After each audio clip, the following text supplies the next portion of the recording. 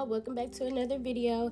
In today's video i will be doing a recreated duck set. Here's the picture so y'all can see what we are going for. I think i did really really good especially with the shape. I tried some new things as y'all would see later down in the video. Not much just really one thing but it has to do with the e-filing and all of that so i'll get to that when we get there. I do want to say i do sound a little congested. I'm sorry y'all. I'm a little i'm a little sick not sick sick. I just got the sniffles. My nose is runny and stuff, you know, TMI, but I'm doing good. It's okay. I just, you know, man, I've been taking my medicine and pushing through. For this set, we did go with a more pinkish base. I did mix this color and I'm not really a big fan of it.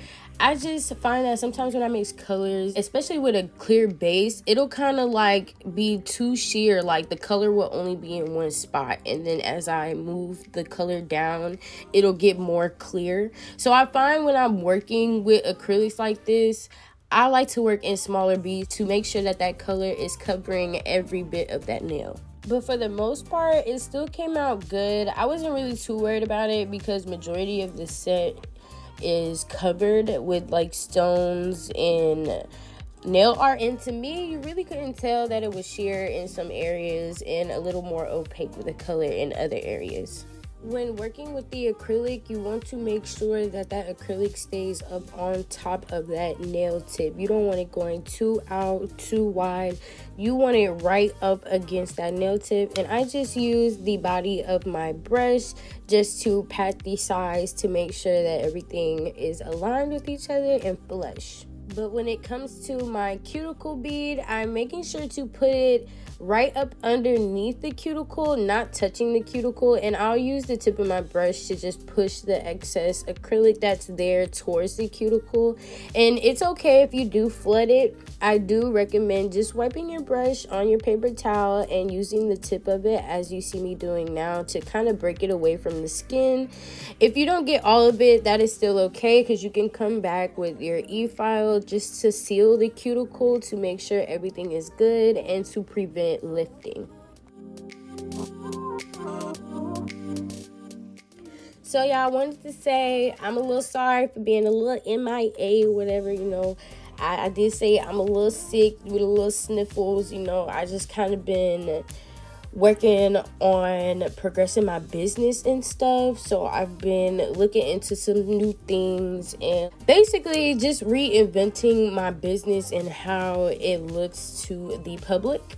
So I've been working on a book and it will be a financial and social media planner basically. So I'm working on that. Um right now I'm going to upload it as a digital copy so y'all can download it and you know you can work on it on your iPad, your phones, or whatever the case may be. But I will later down the road um, maybe turn it into a hard copy book. I'm excited. I'm really excited. The design is looking really good. If y'all would be interested in purchasing it, I will have it available for y'all whenever it is done. I'm still working on it right now. So y'all just bear with me cuz you know, I am one person and I'm doing a lot of things. Not really like I have a lot of jobs. I do my art, my nails. I I'm in school. I do hair, but it's not to the point where I'm just doing stuff every single day. Like with my art, I made it a mission to not kind of make that my priority business in a sense. Like I'm not really I'm gonna say promoting it in a way where I need to be getting orders every day. I'm okay with my orders here and there. I'll get maybe two to three commission arts a month. And that's okay for me right now. Then my nails you know i do my nails full time. But i do be having my off days. Like sometimes sometimes i'll be having like two three off days in a week. And that's only really because i kind of just moved back to texas. So I'm still trying to build up my clientele and things like that. But I'm doing a lot, but not to the point to where everything is just a load. Like for today and tomorrow, these are my two off days of the week. You know, Thanksgiving is next week, so everybody is about to start booking their appointments. And usually, my clients really only book their appointments during the weekend. which is okay to me because I don't go outside. I don't have a life for real. You know, if I'm not with my son or my boyfriend, y'all, I'm not doing nothing. Okay, so yeah, I just be home. So I'm just working on this book. Back to this book, back to this planner. I'm working on this planner. I'm so super, super excited to drop it for y'all. And something had to be done because I was gonna go buy a planner but then when I was looking at them, I was like, oh, these are all cute and stuff. Let me make my own. so yeah, that's what we doing. That's what's happening. So if y'all would be interested, just let me know. I'm gonna stop rambling and I'm gonna go ahead and let y'all watch the rest of this application process through.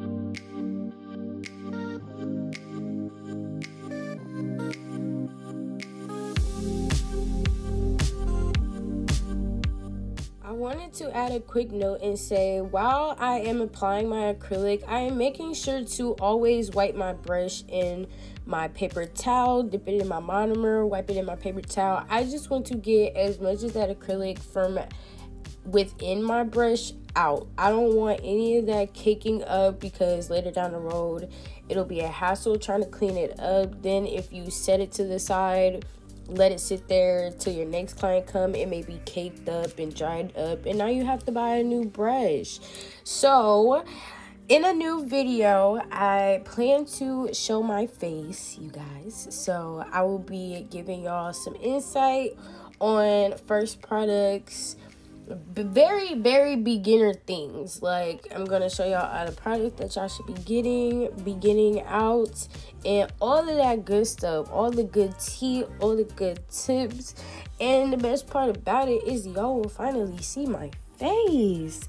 So i'm excited about that. I've been planning for that video. I've been writing all my notes down. That's exact that's why i am making the planner. I genuinely made the planner for myself but I was like, this is too cute to not like have somebody else have it, you know? So that's how all of that came about.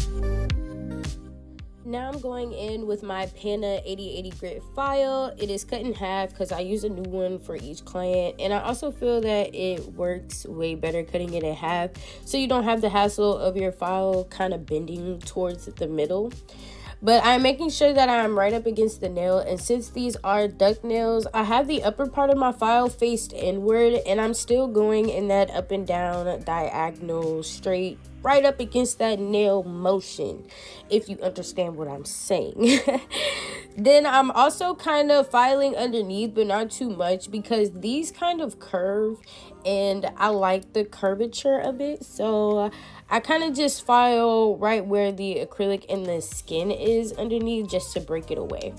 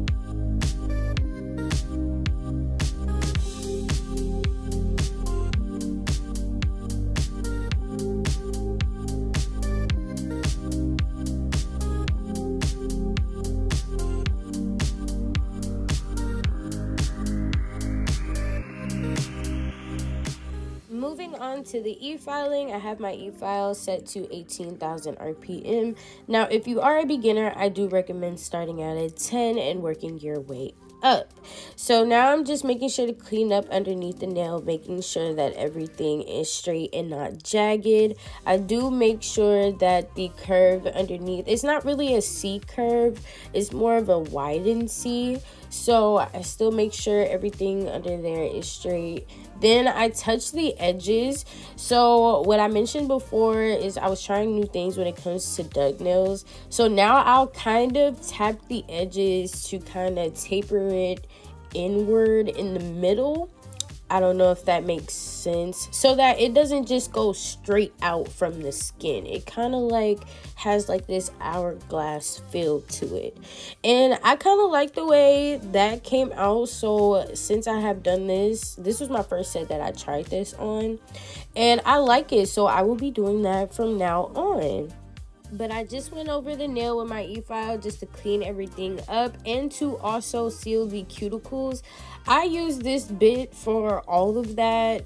So when I go to seal the cuticles, please make sure when you do get this bit, make sure you do tease the top edge. And what that means is basically just get a hand file, turn your e-file on maybe 5000 RPM, and then hold the very edge of your drill bit on the nail file. Now I will show y'all this in the video that I mentioned earlier with my face in it and all the beginner tea and tips. I will show y'all everything y'all need to know. Okay, we're gonna get in depth. We're gonna get into it. All right, we're gonna become professionals in one video. Now I'm just playing, but I will give y'all the tools to become a professional. I'm not a professional, but you know, y'all, I am on my way, okay? I'm, I'm gonna give myself credit where it's due. I am on my way, all right? So, yeah, y'all, y'all stay tuned for that.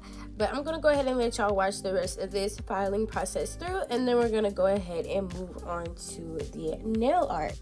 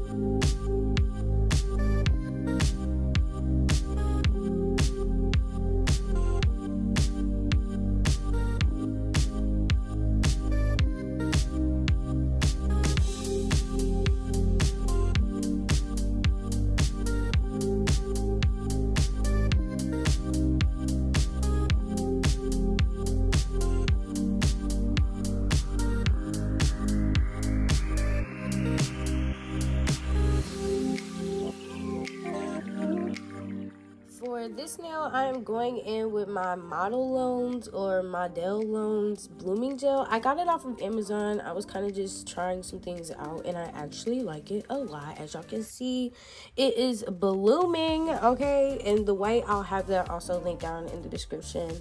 I got that off of Amazon. Um, I will also have my lined nail brushes. I kind of only use this one like for every nail art. I'll use some smaller ones when it comes to tedious things, but I pretty much use this one for every single thing, and it hasn't steered me wrong yet. I actually got these when I first started doing nails, so these have a four year limit on them. They doing their thing, you know, because I haven't bought any more brushes. All of the brushes that I have, I've been have really been sent to me in like packages and stuff like that. But I'm just making this one a French nail. I'm going ahead and being lazy and taking that brush to fill that in because who wants to use this little skinny brush to fill all of that in? Nobody. And I'm making sure to wipe the edges just to make sure that that gel polish don't steer from the actual shape of the nail. We want to keep everything crisp and cut, you know, for the final result. I am going in with my Makartt's glue. I got this off of Amazon as well. This is my go-to glue. I'm telling y'all, these stones is not gonna come off. The only way they're gonna come off is if you slam your hand in the door or something tragic has happened. But for me, they be staying on. I'll say, as you can see on my right hand, some of my stones have fell off, but I done knocked them into doors. I done slammed them in things. But this is my right hand too, so you know, yeah, that's that's I don't have any words for that, honestly. but as you can see, my left hand, the blue hand, all my stones, everything is still intact. So this glue be working and my nails have been on for about five weeks now. I know it's time for a fill i know but you know i told you i'd be busy. I'm trying to do some things and finish some things. My nails gonna come. They gonna come. So i'm just making sure to place all of the stones in place. I like to place my bigger chunky stuff first and then go back in and fill in with the little stones. It's just more easier for me that way. And I feel like the placement is way better. Then for the thumb, I'm doing the same thing, just placing all the big stuff first and then going in with the little ones. And that will complete the set, y'all. I appreciate y'all so, so much for watching and staying tuned, talking to me, asking me questions. I am here for y'all and y'all are here for me. It's a wonderful community, okay? Ooh, that's a slogan and I'm keeping it. All right, all right, y'all. Let's let's get it. Let me shut up. But I appreciate y'all. Y'all have a wonderful day. See y'all in my next video.